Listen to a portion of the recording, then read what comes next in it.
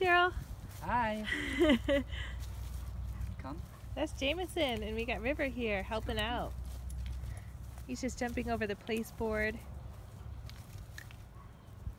Just trying to get him to go in a straight line over an object. Come. Come. There he goes. Good job. And getting him to turn, constantly facing the handler. So we want to get his attention. So we're trying to get him to stop on the place. That's why he walked into him so quickly. Because he wants to see if he could get him to stop on there instead of just going over the place. There you go. Yeah, there we go. Who's so smart?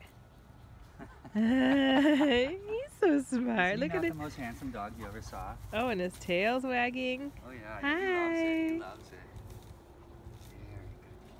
Oh, good job. Very Oh, see, Look at him except getting distracted there, right? all that noise. You You see can't him? see when you praise. Sometimes, like the praise is distracting, so you got to be careful. Sometimes it's better to just not say anything. Let's see, he's kind of turning on me. Yeah, because he wants to see me because he he heard the voice. So that's actually a distraction. So this is a good training opportunity. That's what we'll call that. Because the dog is still expected to do the commands through the distractions. Oh, nice. Look at his head up. That's very good focus, very good attention. That's what we're looking for. He's, the handler's using his hand as a guide for his eyes to see. Look up, look up, look up.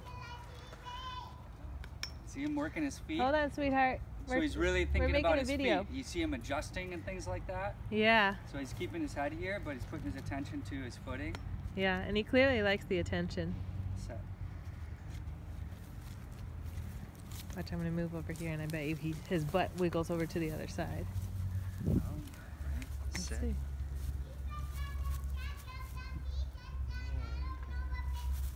I'll check in a second, sweetie. Come. Let's go over it. Let's. I want to try him on this stump once.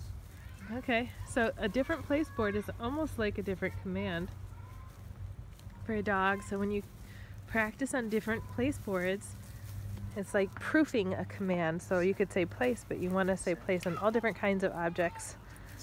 Because the dog just sees a different picture. So the dog needs to see that place Place. means get on an object with different pictures.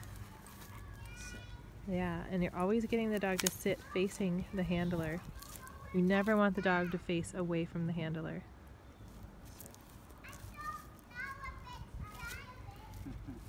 And then the handler's just getting some distance. wow, look at that. So this is how we work on the stay, but we don't actually say the word stay. We say sit. When the dog is in a sit, the dog is staying. So it's a little redundant to use the word stay. It's just adding an extra word. So that are doing so good. unnecessary for the He's training. Such a happy dog. Yeah, he is. Come. Come. Come. Set. We constantly on, bring him back come. over to the place board. You got it. You got it. Come on. Come on, place.